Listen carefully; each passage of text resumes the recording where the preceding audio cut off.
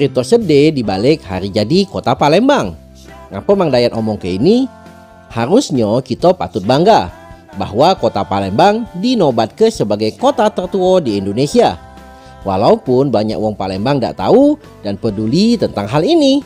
Menyambut hari jadi kota Palembang, tidak banyak ucapan apalagi pagelaran acara yang ngerayoinya. Ini cerita sedih pertama Mang Dayat. Kisah sedih kedua yaitu hari jadi kota Palembang ditetapkan pada tanggal 17 Juni. Hal ini keliru jikalau mengacu dari sisi historinya. Hari jadi kota Palembang ditetapkan berdasarkan prasasti Kedukan Bukit yang berangko 16 Juni. Tapi ngapo jadi 17 Juni? Jangan sampai tidak tahu, demi meluruskan fakta, tonton video Mang Dayat sampai habis.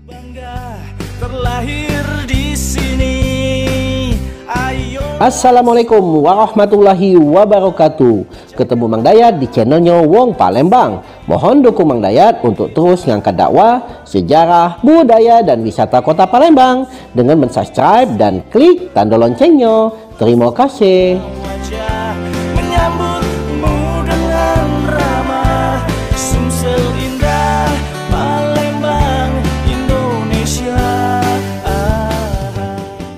Apa kabar Mance Bice? Salam sedulu dari Mang Dayat. Mang Dayat ucapkan selamat hari jadi kota Palembang yang ke 1339 tahun.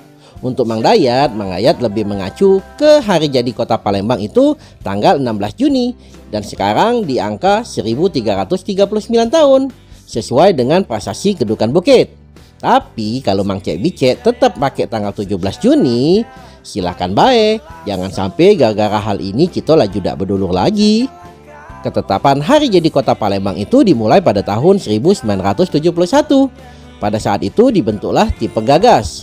Tipe gagas ini kemudian memberikan empat opsi yang kemudian dipilih salah sikoknya. Penetapan ini melalui rapat akbar yang dihadiri oleh tokoh-tokoh Wong Palembang pada masa itu. Sebenarnya Cak Manonian penetapan hari jadi kota Palembang ini? Untuk itu kita berbincang sama ahlinya.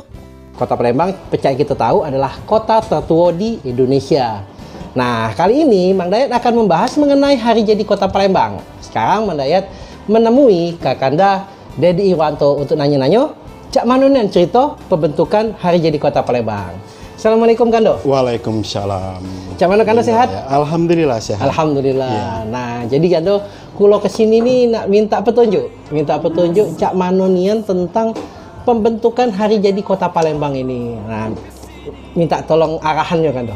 Ya, pertama ini hari jadi Kota Palembang hmm. itu muncul sebetulnya kontroversial. Oh, ada karena kontroversi. iya ada kontroversial karena secara realitas historis hari jadi kota Palembang itu pada tanggal 16 Juni sebetulnya. Hmm. Tetapi secara keputusan politik lewat SK Wali Kota di tahun 1972 itu jatuh pada tanggal 17 Juni. Oh, beda sehari? Iya, beda sehari. Ini kemudian yang banyak diperdebatkan oleh iya.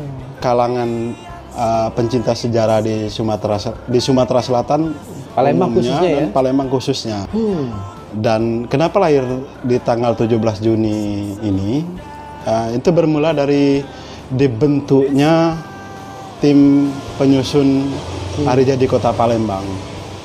Tim ini dibentuk pada 5 Oktober 1971, tetapi baru bekerja pada tanggal 21 Januari 1972. Hmm. Jadi ada jeda beberapa bulan ya? Iya, beberapa bulan uh, untuk pembentukan tim ini. Dan ini sebetulnya adalah semangat uh, orde baru sebetulnya pada waktu itu untuk hmm. mencari hari jadi kota Pak hari jadi hmm. setiap kota di Indonesia termasuk di kota Palembang. Yang menariknya bahwa tim yang dibentuk itu hmm. kebanyakan berasal dari birokrat hmm. kota Palembang pada waktu itu. Ya, tim ini diketuai oleh Tengku Sombalubis. Hmm. Beliau adalah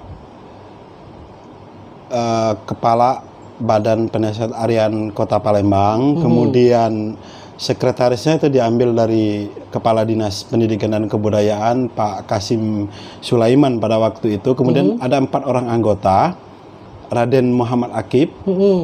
uh, beliau ini sebagai perwakilan arsitektur sebetulnya pada waktu itu arsitektur, arsitektur kota kemudian eh, Anwar Bapak Anwar Ripai Mhm. kemudian Taufik eh, Rahman Pak Asis Somad nah ini jajaran birokrasi kota Palembang pada waktu itu dan SK langsung dikeluarkan oleh wali kota Aripai Ceyan. Eh, tim ini sebetulnya telah bekerja dulu selama empat bulan Hmm.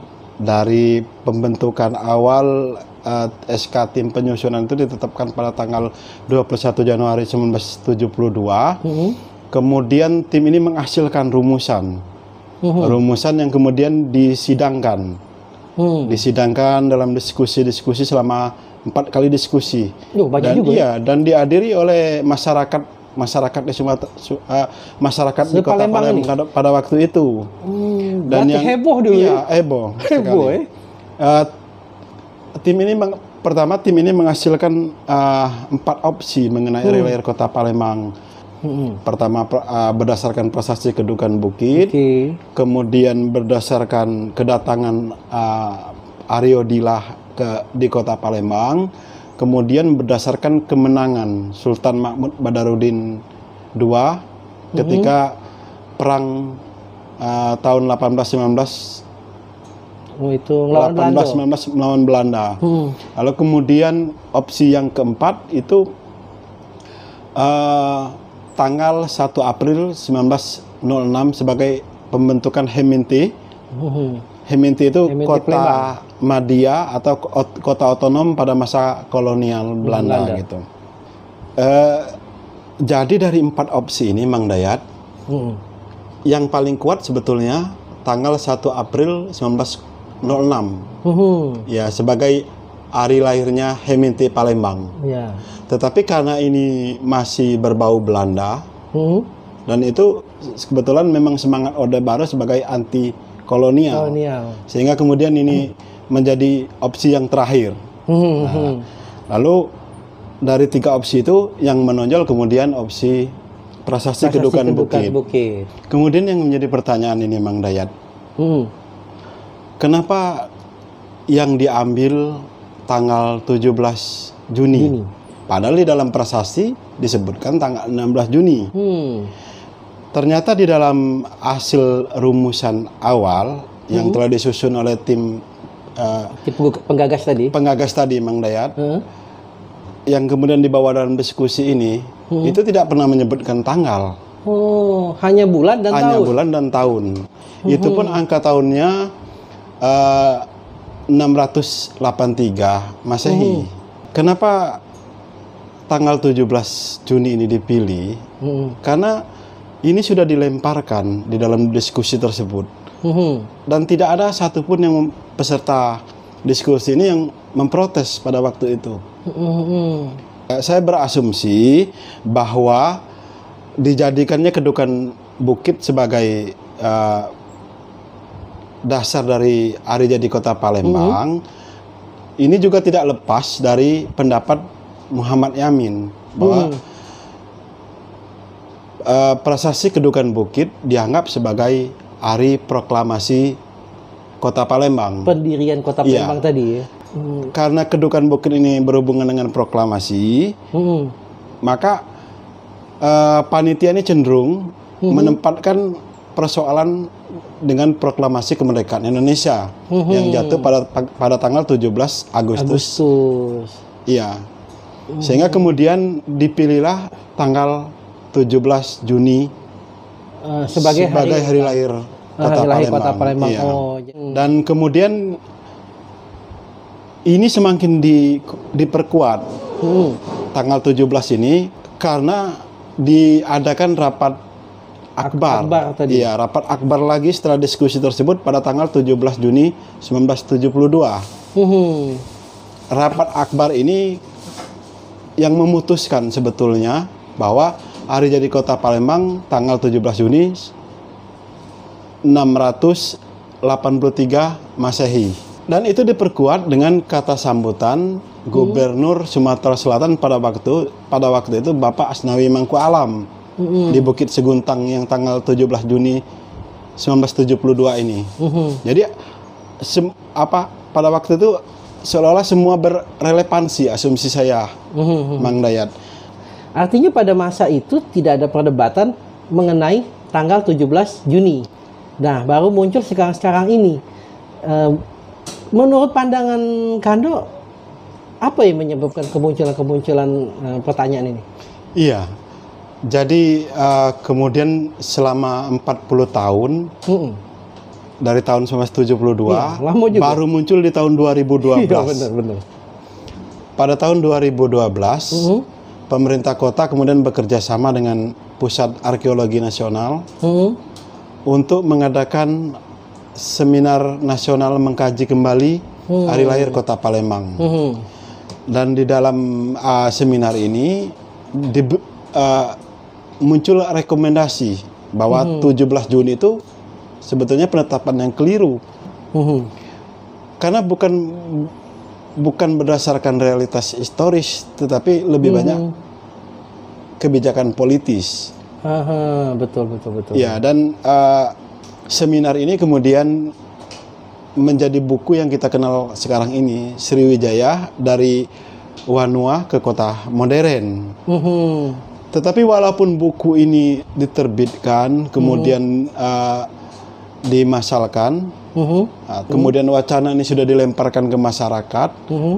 tetapi tidak ada perubahan Mhm. mengenai SK 17 Juni ini. Mhm. Jadi tidak ada pencabutan, tidak ada usaha kembali untuk merevisi SK pada masa wali kota Aripa ICN tahun 1972 ini. Mhm. Dan sampai hari ini. Iya sampai hari ini. Sampai hari gitu. ini. Sampai hari ini tidak ada usaha untuk itu. Walaupun kita eh, beberapa eh, kalangan sejarawan, pencinta Hmm. sejarah di kota Palembang menginginkan kembali. Oh, sudah pernah berarti Iya, diajuin, ajuin itu ya? Iya, cukup banyak eh, eh, pendapat untuk segera merevisi kembali Menjadi tanggal SK 16. wali kota Hmm. eh, Aripai Cian yang tanggal 17 itu menjadi tanggal 16 Mhm. Juni. Saya pikir eh, ke depannya eh, pemerintah kota sebagai pembuat kebijakan Ya. eh, di kota Palembang harus memikirkan ini kembali gitu. Mhm. Bahwa yang benar menurut sejarah itu tanggal 16, 16. Juni Hmm.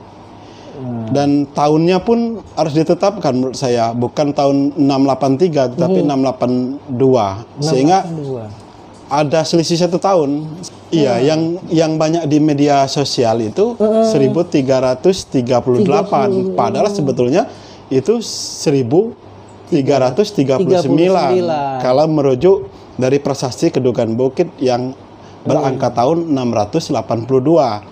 Mhm. Jadi ada dua ada dua kesalahan Yang harus sebetulnya direvisi yang harus ya. direvisi ya. Tanggalnya 16 Juni, kemudian tahunnya tahun 682. Mhm. Itu menurut menurut uh, prasasti Kedukan Bukit. Oke oke oke.